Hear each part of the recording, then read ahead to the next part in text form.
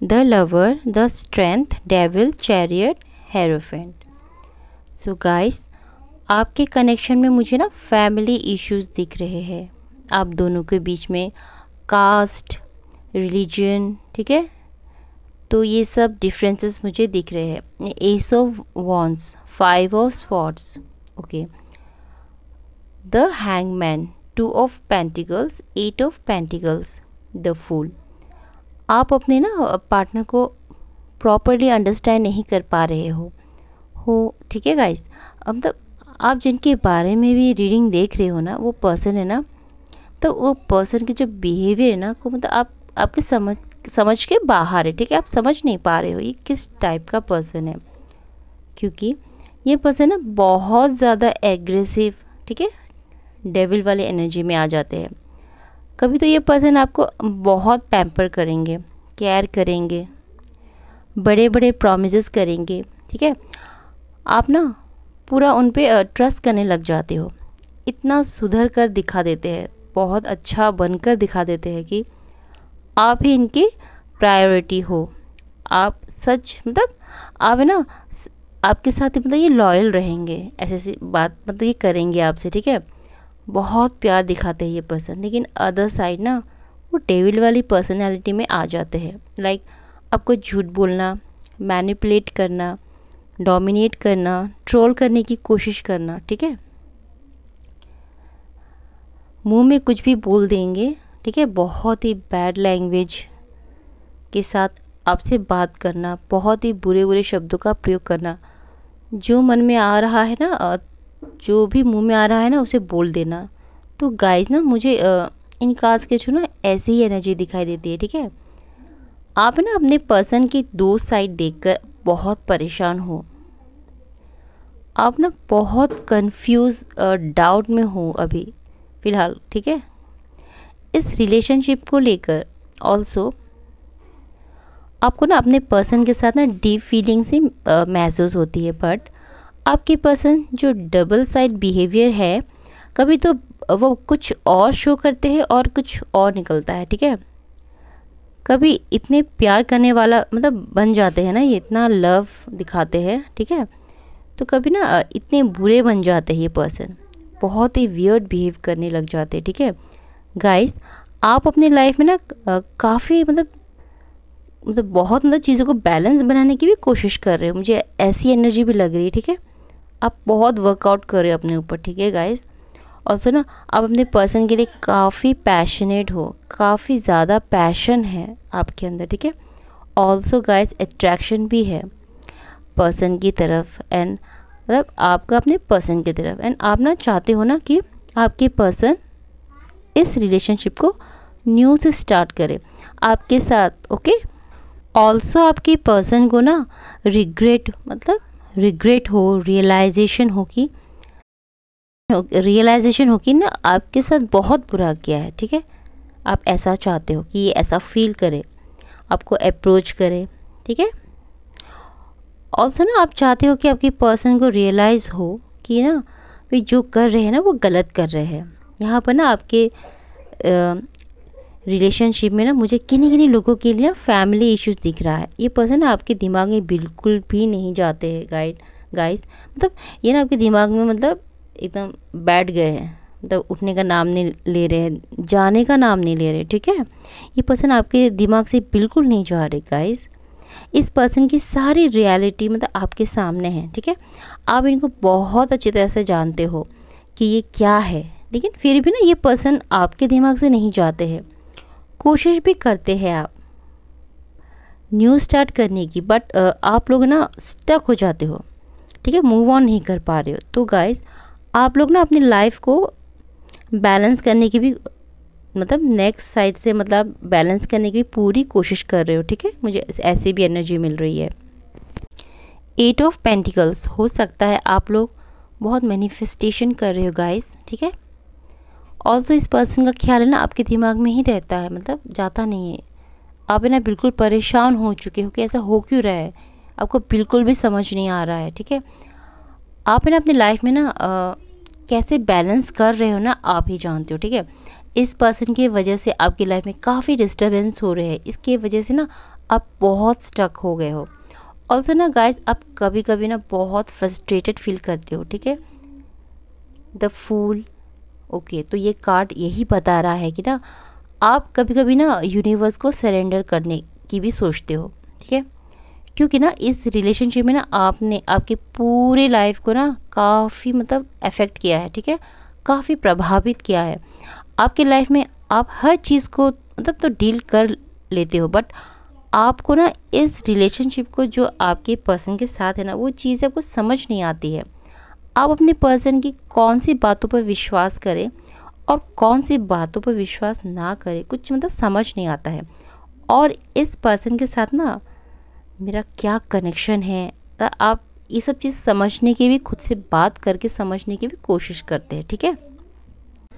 आप मतलब यही सोचते हो कि मेरी लाइफ में आ, क्या हो रहा है आखिर? इस पर्सन के बिहेवियर से ना आप अच्छी तरह से वाकिफ़ है। लाइक like ना ये एग्रेसिव है रूड है टॉक्सिक है बट फिर भी ये पर्सन आपके दिमाग से नहीं जा रहे हैं। ट्वेंटी फोर आवर्स ये पर्सन आपके दिमाग में रहते हैं, ठीक है? तो गाइस ये सब चीज़ें ना आपको परेशान करती है। आप ना बहुत कंफ्यूज हो हो फ़िलहाल प्रेजेंट की एनर्जी में, आपकी एनर्जी में, ठीक है? ये प्रेजेंट की एनर्जी में गाइस आपके पर्सन ना एक ना एक दिन आपसे शादी करेंगे, ठीक है? ये पर्सन क्योंकि ये ना आपको अपने लिए परफेक्ट मानते हैं। Page of pentacles queen of cups guys ये पर्सन है ना, आएँगे ज़रूर आपके पास। बट यहाँ पर ना पेज ऑफ़ पेंटिकल्स का कार्ड है, जो स्लो एनर्जी को शो करता है।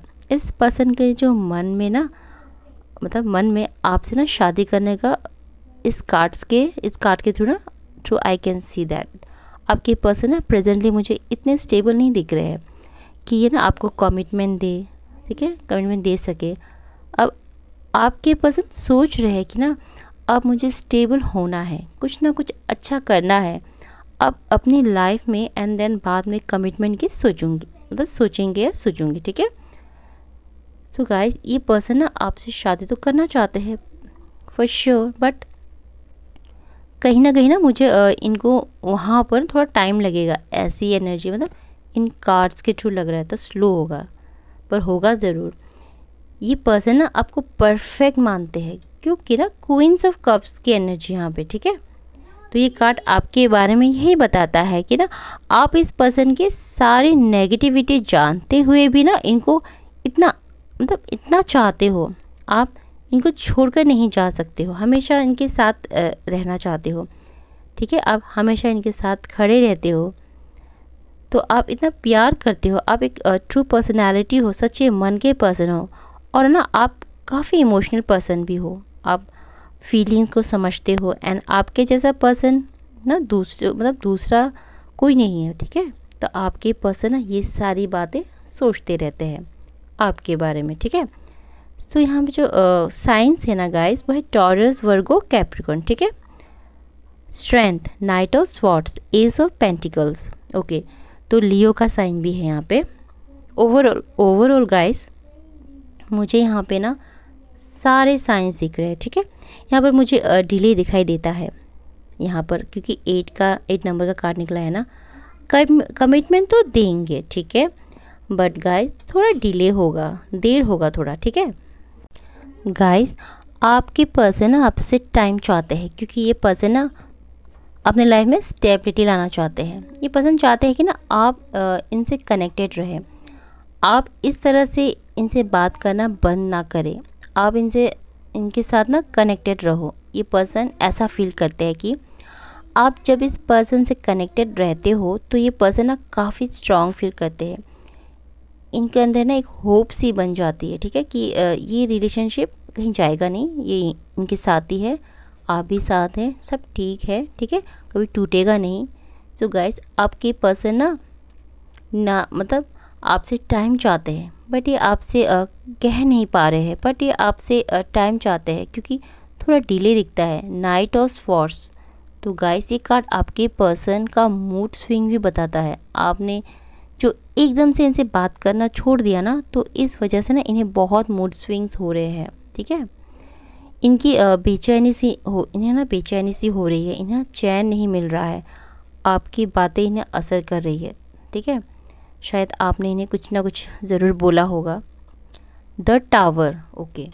गाइस, आपके पर्सन ने ना आपको जो धोखा दिया है ना, चीट किया है ना ऑल्सो मल्टीपल रिलेशनशिप रखे हैं एंड इस रिलेशनशिप को ना तहस नहस कर दिया है, ठीक है? आपके साथ जो रिलेशन है, ये रिलेशन आपकी तरफ़ से ही सही चल रहे थे, जहाँ तक मुझे इन कार्ड्स के थ्रू देख रहे थे, आप ही ट्रू थे इस लव में, ठीक है? इस रिलेशन रिलेशनशिप में आप ही काफ़ी एफर्ट डाल रहे थे, ठीक है? आपके पर्सन ने तो कोई भी एफर्ट ही नहीं डाला। सो ये ना टावर कार्ड यही बताता है कि ना, कि टावर इतना मज़बूत नहीं था इसलिए ना ये टूट गया। ऑल्सो गाइज़ प्रेजेंट की एनर्जी में ना आपके पर्सन मतलब आपको अपना वाइफ और हस्बैंड समझते हैं। क्योंकि ना ये सोचते हैं ना आप परफेक्ट हो, जो उनको समझते हो।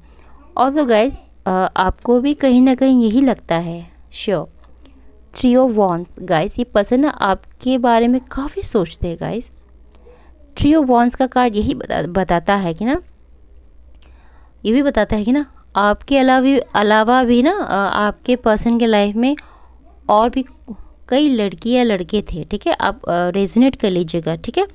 बट आपके लिए जिस तरह से इस पर्सन ने फील किया है ना, उस तरह ना इस पर्सन ने ना किसी के लिए फील नहीं किया। ऑल्सो ये पर्सन इन सब चीज़ों को सोचते भी है। ये पर्सन आपके साथ फ़िज़िकल रिलेशन भी बनाना चाहते हैं। मुझे क्रेविंग आपके लिए काफ़ी दिखाई देती है। वो चाहते हैं कि ना आपके साथ कनेक्टेड रहे। एट ऑफ़ स्वॉर्ड्स की जो कार्ड है ना, ये पर्सन ना काफ़ी ओवर थिंकिंग कर रहे गाइस आपके पर्सन ना आपके साथ किसी और को कभी नहीं देख सकते। इन्हें बहुत जलसी होती है। ये पर्सन ना अपने लव को आपसे आपसे एक्सप्रेस करना चाहते हैं। आपके बिना काफ़ी अकेले हो गए हैं। आपके बिना इनके लाइफ में सब कुछ डिसबैलेंस हो चुका है। इनके लाइफ में कितने भी लोग हो फ्रेंड्स रिलेटिव्स कोई भी हो बट ये हैप्पी नहीं है किसी के साथ भी, ठीक है? ये खुद की लाइफ में ये सारी चीज़ें, ये आपको मतलब क्लैरिटी करना चाहते हैं, बताना चाहते हैं, ठीक है? और ये बहुत जल्द बताएँगे भी आपको। Claim this positive reading by typing angel number two two 222